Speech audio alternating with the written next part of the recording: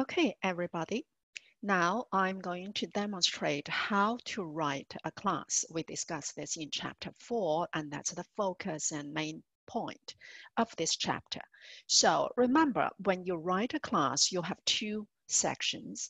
One is the instance variables, instance data that demonstrates, that shows, or that describes the attributes of an object.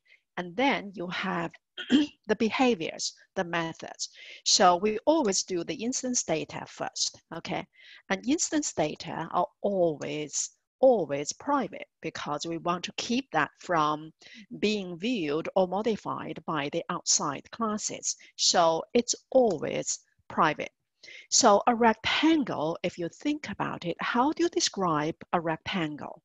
You describe it with uh, width and length, right? That's it. So we have two instance variables, and one is uh, length, which is an int. You can make it a double, but I'm just making it an int because the purpose is really to demonstrate classes, not to go into those details yet. Okay, so uh, we have length and then we have width. This is how you describe a rectangle, and that's enough. Now, another thing, uh, another potential instance variable is this. And some of you may think, hmm, when we talk about rectangle, we talk about the length and width, but we also talk about the area. So is area an instance variable?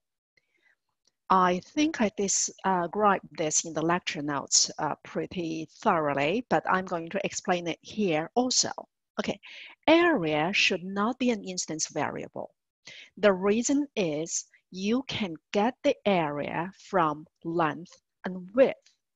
Multiply them, you get the area. So we call this type of attribute uh, derived attribute. It's not native, it's not basic, it's derived. That means you can get it from other attributes. So that's why we don't use this as an instance variable because it's derived. And what's the, disadvantage or, or downsides of having a derived variable? Uh, it's because it will corrupt your object. You can change the area while the length and width are not changed. For example, if your length is 2, your width is 2, then your area should be 4. But if you have a method set area or change area, you can change it to 8 or 9 or 10 while your length and width are still 2 and 2. So that corrupts your object. That um, violates the consistency. And so the integrity of the object is violated. That's why we don't want uh, this derived um, instance variable. Okay, I'm going to delete it. So that's that. Uh, that's enough, right? Now, to write a class, you will always have a constructor. And what does a constructor do? A constructor will initialize every object to the same equal, um, how do I say it, uh, state, okay? So a constructor always uh, start with public. It has to be public Otherwise, other classes cannot see it. So it's public and it doesn't have a return type, right? So it has the same name as a class name. And right now, I will just not accept anything. and so if I don't know what kind of constructor you want to construct, then it's just uh, zero, Okay, so I initialize it to zero. So you can see why we call this a constructor and why we say it initializes all objects of this class to the same state. Because when you create a rectangle object, its length and width are zeros. So uh, that's why they, they, they all start at the same state. So what does a constructor do? When do you call a constructor? A constructor is called when you uh, create a new object. So while we have only written this one constructor, I'm going to start a new class and let's call it the driver, okay? So I will call it rectangle driver. And the driver is a tester. It tests to uh, see if this class functions correctly. So uh, that's why we call it driver. Okay, a driver always has the main method. So I check that and click. Okay, so now I'm going to delete this because this is auto-generated comments. It doesn't uh, mean anything. I'm just going to test the rectangle class. Okay. But when you do your project, you need to do more detailed uh, documentation. I just want to save some time here. So here, okay, test the rectangle class. How do we test it? We first have to create an object. So to create an object, you start with the class name. I will call it R1, okay? And equal sign and new is the keyword you must use and followed by rectangle, right? You remember scanner, scan equals to new scanner. So this is the same. And if you go back to look at our rectangle class, it does not accept any parameters. So here, we will just put empty parameters there. So now we have a, a new rectangle. It's named R1. So what is the length of R1? It's zero. What's the width? It's zero. Now, if I create, excuse me, if I create another one, let me just copy this. If I create an R2, okay, and what's the length of R2? zero Width? zero. The reason is when you do this, when you call this rectangle method, it goes to this constructor and it will execute these two statements. Okay, so that's what that is. So now we have created two rectangles, zero and zero, non-existent basically, but we were able to create the, those objects. Okay, let's go back to this rectangle class. Now, another way to do this is to uh, override it, over, overload it. And um, you ha we haven't discussed this really much, but it's pretty easy to understand. To overload a constructor, you simply do the same here, right? except you have different signature, different parameter list. So I am going to accept, okay? So an int length, an int width, okay? And then I will initial, initialize my instance variable length to L to whatever value you give me, and my width will be W. Okay, so this is when you have a length and you have a width to create this rectangle, and that's what that is. Now, I can come here and um, I can create another one, R3, and for this one, I do have a length in mind, it's 10 and 3, for example and I can create another one, right? And this is R4. And this one is uh, 10 and 10. Okay, so now when you call this method, this is the constructor. When you call this constructor, give it two parameters, it comes here. It will, L will be 10 and W will be 10, or L will be 10, W will be 3 based on the actual values and your instance variable will be initialized to those values. Okay, so um, these are the constructors. And then remember for a class, you must have mutators and accessors. Let's do the accessors first. Okay, accessors. And how do we do accessors? It always starts with public And accessors always have return types that are the same as the instance variables. I should use singular because it's one accessor for one instance variable. So an accessor always has the same data return type as the instance variable type. So our length type is int. So our return type here, hmm, here is int.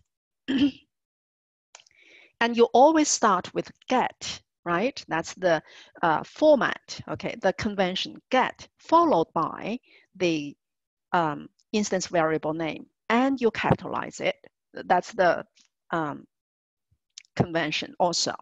It does not accept anything, and you only have one statement, which is give back the value of that variable. It's very easy, okay, for length. And then for width, it's an int type, so our return type is int, and we use get and width, right? Okay. And then we return width, okay. So these are the two accessors, and now let's do the mutators. Mutators mutate, you change, right? So it starts with public. For mutators, our job is not to give back something. Our job is to change. So return type is void. And the convention is set, okay? You set the length. And if you want to change the length, you must know what to change to.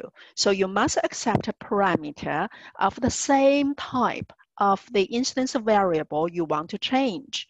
So suppose this is length, length variable, uh, length data type is int. So we come here and we say we will accept an int, okay. And length.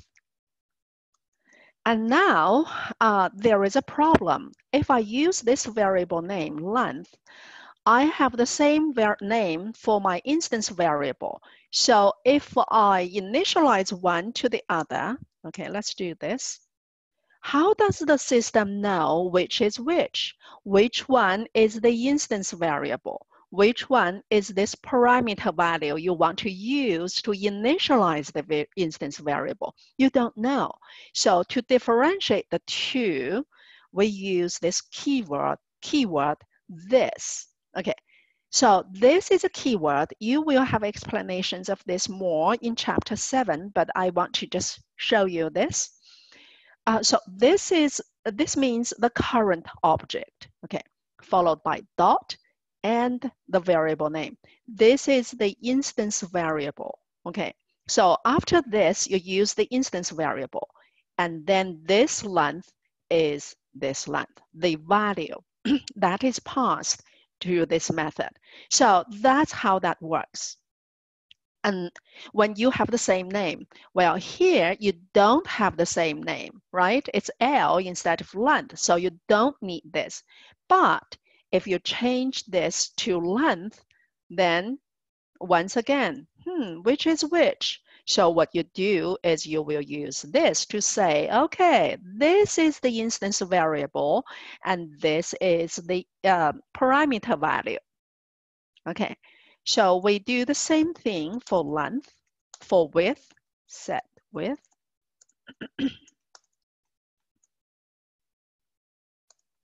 And let's do the same thing. The reason that we use the same name is that, you know, it's the most illustrative name, right? Most descriptive name.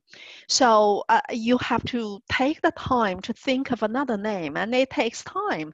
And L or W really don't mean anything. So length and width are the best names. Why don't we just reuse them? But when we reuse them, we have this confusion. We don't know which is which. And that's why we use this this to differentiate them. Okay, that's the mutator. And you also must have the toString method to describe that describes this object. Uh, the toString method's function is to return all the instance variables because that describes what an object is, right? So we uh, write the toString method, it always returns a string and you cannot change the signature or the return type. It always returns a string and its name is toString. You will understand this in chapter nine. So right now you just follow this and it doesn't accept anything. And as I said, a toString method returns a concatenated string of the instance variable. So uh, since it returns a string, I will just return, I will just create a, a variable, call it result. That's the one we are going to return. And you can see it says you must return something, right? So yes, I will return this. So I'm just going to say return result. Now this skeleton method actually compiles, even though it doesn't do anything. So now we will concatenate this string, okay, the instance variables. Um, so to concatenate, we will just add to result, which is an empty string right now. So we add to it, okay, result plus equal to the length. So if you want to be more illustrative, you will just say length, right? plus the actual value of length. That is the instance variable there. So whatever you set it to be, or whatever it is when you create the object, that will be the value you return, okay? And then we also want to do the um, width, and you can add a new line character and just say width plus width. That's the instance variable once again. I'm going to capitalize this, okay? And then I will return that result. That is the toString uh, method. And, and we are basically done with the basic structure of this class. Let's go to our driver and see how we can do this. Now we have the toString method, we can actually uh, see these uh, see the descriptions of these uh, variables, of these objects. So R1, and we, we can print it out. And I'm going to print out, oh, um, I'm going to print out them, okay? So this is R1, this is R2, R3, this is like the Star Wars R4, okay? So I'm going to run and you can see uh, length, right? That's all correct. That's what we, um, when we create them, that's what they are. So this is calling the toString method. Uh, when you use an object name in the outlines and output statement, the toString method is automatically called. Can you do this? Yes, is it necessary? No, um, okay, so now other things we can do with these, we since R1 is zero, zero, we can change it. So R1 set length, we can change it to length is 20, right? And we can do R1 set width. So when you do this, set length, set width, it comes to this class this will be whatever I had. I think I had 20. And so your instance variable for that object, R1, will be 20. And the length will be 10. Okay, it will come back to call those methods right here because you have them. So they will use these methods to initialize, to change the instance variable. And now when you print it out, uh, you will see it's changed. Okay, let's see. Okay, so, oh, the width, did I not change the width? so the, okay, let's see. Oh, I said pen, right? R1. why is it um, one, two, three, four? These are the four um, objects here. And so this one is not correct. I didn't change. It didn't change here. Oh, oh, oh, oh. Okay. In my in my implementation of the rectangle class, I use length. I think you may have already noticed that. So this should be width, right? We are changing the width. Just now I use length. Now let's run. And this is R1 and R1 originally, that's the value now out after we call um, set the X, the mutators, they are changed. So that's one. Another thing is we, uh, we also can call the, okay, this is how you test them, right? We can also call the uh, R3's get length. Let's see if that method works. And uh, let's see. R3's length is 10. That works. And we can do this. We can do some arithmetics here even, right? And R3 dot get width, which doesn't make much sense. Oh, that's the circumference, but then not circumference. What do you call it? and then you also have, you have to time two. Uh, but anyway, I, I want to show you, you can use those values to do these, right? It's 13 because length and width that's 13. Okay. Um, so that's that. And then you also, okay, so now uh, what is the area of this rectangle? We can do this. We can multiply the length and width. That does give you the area. Let's see. Okay, that gives you the area.